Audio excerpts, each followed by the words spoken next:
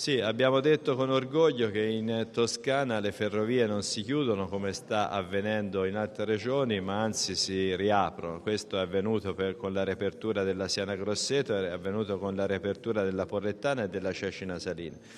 Ovviamente queste ferrovie cosiddette minori hanno un valore e una valenza anche dal punto di vista turistico, eh, quindi eh, c'è sicuramente un, una funzione che è quella trasportistica, ma c'è anche la possibilità di utilizzare queste ferrovie come attrattore per un turismo, un turismo slow eh, che magari coniugando con la bicicletta ama percorrere i paesaggi e gli scorci del, del territorio toscano eh, attraverso l'utilizzo del treno. Ecco, per consentire eh, la progettualità e la possibilità di valorizzare queste ferrovie, la Regione, oltre a contribuire per tenerle aperte, eh, mette a disposizione anche delle risorse per eh, sostenere i progetti che le amministrazioni locali